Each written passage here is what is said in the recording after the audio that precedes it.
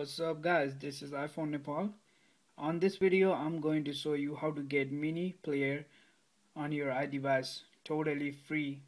So let's start it.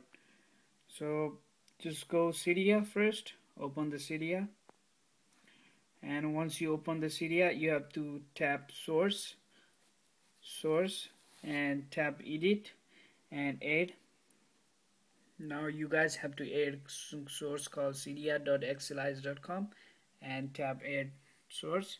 And it will say source warning. Just click add anyway. I already have it so I'm just gonna click cancel. And once you add this one just tap done.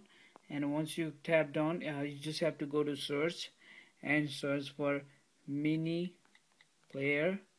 And in the mini player search and you're gonna see the black one at the top and just click the that one and it will say install just tap install and it will say confirm and just confirm it and it will take couple second um,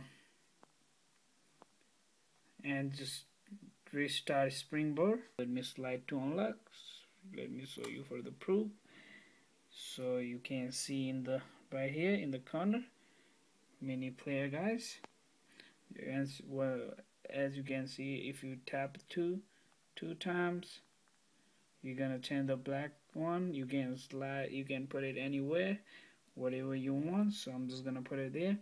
And this is how you get a mini player on your iDevice if you like this video please hit that like button guys. So that will help me so much. And please don't forget to subscribe me. And I will see you on next video. Peace